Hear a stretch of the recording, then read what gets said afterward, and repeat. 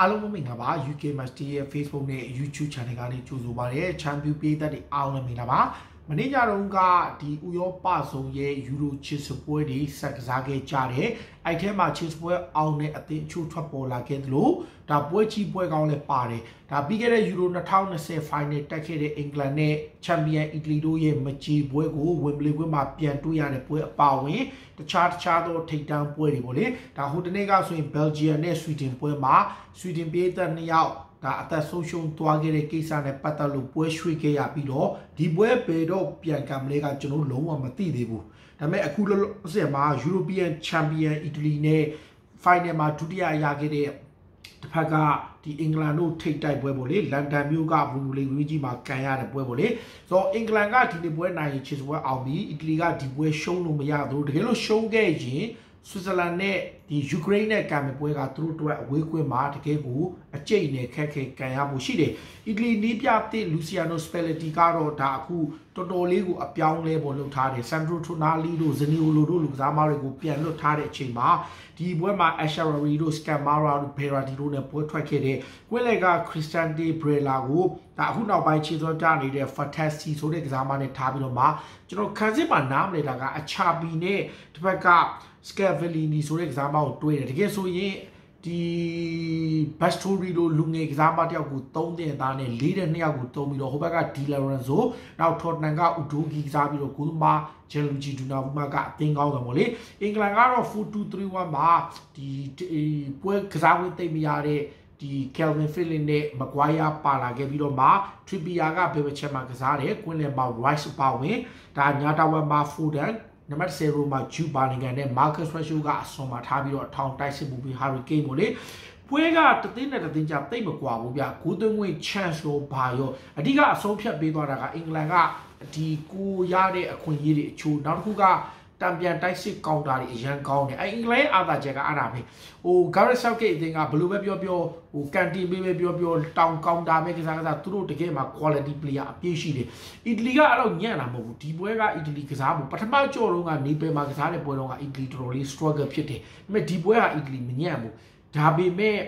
ဟိုဘယ်လိုပြောမလဲ ဟိုဒီ market ratio တွင်းလိုက်ရဲ့ goal ဆိုရင်ဟိုဘက်ကဒီ hurricane ပို့လိုက်တဲ့ဒီ counter ပေါ့လေဂျူပါလင်ကန်ရဲ့ counter လွတ်ထွက်သွားတဲ့အလုံးကနေပဲဒါကူပေးလိုက်ရတာဖြစ်လို့နောက်တစ်လုံးကလည်းအဲ့တိုင်းပဲဒီအဲ့ပုံစံပဲ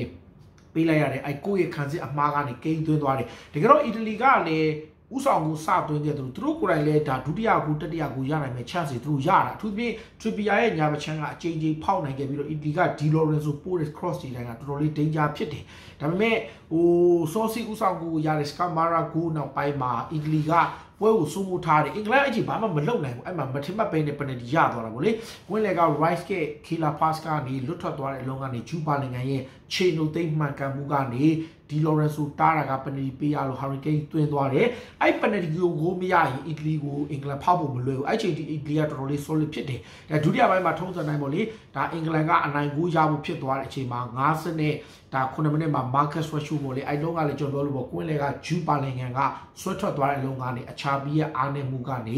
ဒါ Rashford ကထုံးစံတိုင်းသူ့ရဲ့ trademark ကိုသွင်းသွားတယ်ပြီးတော့မှ89မှာ Hurricane ကဒီအီတလီနောက်ခံလူ Bastoni ရဲ့အမှားကနေပဲဒါတတိယကိုသွင်းပြီးတော့အီတလီကိုအင်္ဂလန်က3ဂိုးတဂိုးနဲ့နိုင်တယ်ပိုဆိုးတာကဟိုဘက်မှာ Malta ကို Switzerland ဒီယူကရိန်းက3ဂိုးတဂိုးနဲ့နိုင်လိုက်တော့အင်္ဂလန်ကအခု6ပွဲမှာ16မှတ်နဲ့ Euro ချစ်ပွဲအောင်ပြီးတော့ယူကရိန်းက73မှတ်ကိုတပွဲရော့တပွဲပဲကျန်တော့တယ်အီတလီကတော့နှစ်ပွဲကျန်ရမှ10မှတ်နဲ့ goal difference ကယူကရိန်းက +3 အီတလီက +4 ဆိုတော့အီတလီကလာမဲ့ပွဲစဉ်ကိုသူတို့ကအိမ်ကွင်းမှာဖြစ်တဲ့ဒီဘယ်လိုပြောမလဲ အဲမြောက်မက်ဆီဒိုးနီးယားကိုသူတို့ကန်ရမယ်ပြီးတာနဲ့နောက်ဆုံးပွဲကိုဘိုင်ယယ်လီဗာကူဆင်ရဲ့ကွင်းမှာယူကရိန်းနဲ့သူတို့အဝေးကွင်းကန်ရမယ်အဲ့ဒါကအီတလီအတွက်ဆိုတော့အီတလီကအခုမက်ဆီဒိုးနီးယားကိုနိုင်73မှတ်ဖြစ်မယ်အဲ့ဒါဆိုရင် Swiss ဒီယူကရိန်းကိုသူတို့တေကန်ရင်ယူရိုချစ်ပွဲအောင်ပြီတကယ်လို့များမက်ဆီဒိုးနီးယားကိုနိုင်သည့်တိုင်အောင်ယူကရိန်းကိုရှုံးရင်တော့သူတို့ထွက်ရမယ်ဆိုတော့ဘယ်လိုပဲဖြစ်ဖြစ်သူတို့နောက်ဆုံးပွဲကိုလုံးဝရှုံးလို့မရဘူးဒါပေမဲ့အဲ့ဒါကလည်းမြောက်မက်ဆီဒိုးနီးယားပွဲကိုသူတို့နိုင်ဖို့လိုအပ်တယ်တစ်ဖက်မှာတော့ဒါဒီ ဟန်ဂေရီကလီသူယေးနီးယားကိုနှစ်ကိုးပြက်ရှုံးပြီးတော့မှဒိုမနစ်ဆာမိုစလိုက်တို့နောက်ကလိုက်ကစားလို့တူတူသေးကြပြီးတော့ဆာဗီယာအိမ်ကွင်းမှာနိုင်တော့အိုင်အိုစုကဆာဗီယာနဲ့ဟန်ဂေရီကခြေစပွဲအောင်တလောက်ဖြစ်နေပြီပွဲတော့နည်းနည်းကြာသေးလို့ဒါအခုယတိပြက်ပြောလို့မရတာပေါ့လေဒီနေရာမှာဒန်မတ်နဲ့စလိုဗေးနီးယားလည်းအသီးသီးအဝေးကွင်းမှာနိုင်ပွဲရတယ်ဒန်မတ်ဘက်ကဆိုရင် Christian Eriksen ကဒါ record breaking ပွဲကစားခဲ့လို့ Rasmus Hojlund ကတော့ဒန်မတ်အတွက် ဒါတကူသွင်းခဲ့ပြီးတော့ Hojlund ကလည်းဒီခြေစွမ်းမှာအကောင်းဆုံးခြေစွမ်းပြနေတဲ့ကစားမဖြစ်မှတ်တမ်းခဲ့တယ်။ဒါလက်ရှိအနေထားရတော့အခုခြေစပွဲအောင်ထားတဲ့အသင်းကအခုလောလောဆယ်မှာဘလောက်မှမရှိသေးဘူးခြေစပွဲအောင်ထားတဲ့လက်ထက်မှာဒီလက်ရှိအနေထားရဆိုရင်တော့ကျွန်တော်တို့ဒီအင်္ဂလန်အသင်းအပါဝင်ဒါယူရိုချစ်စပွဲအောင်ထားတဲ့အသင်းကြီးအတွက်ကတော့ထွက်တော့ထွက်ပေါ်လာပြီပေါ့လေဆိုတော့အခုလူရိုချစ်စပွဲအောင်ထားတဲ့အသင်းကြီးထွက်ပေါ်လာတဲ့အချိန်ထဲမှာအခုလက်ရှိမှာဂျာမနီကအေရှန်နေနဲ့ပြီးတော့မှ ဘယ်ဂျီယမ်ပြင်သစ်စပိန်ပေါ်တူဂီ